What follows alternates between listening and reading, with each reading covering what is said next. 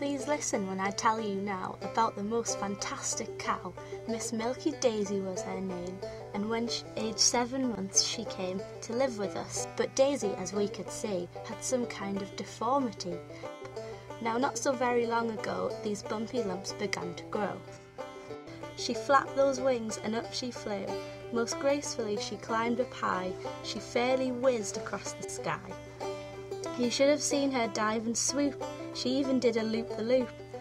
Of course, most immediately, her picture was on live TV, and millions came each day to stare at Milky Daisy in the air, except for one quite horrid man who travelled all the way from Iran. This fellow, standing up in the crowd, raised his voice and yelled aloud, That silly cow. Hey, listen, Daisy. I think you're absolutely crazy. Unfortunately, Daisy heard quite clearly every single word. By gosh, she cried. What awful cheek! Who is this silly farm freak? She dived and used her power. She got to 60 miles an hour.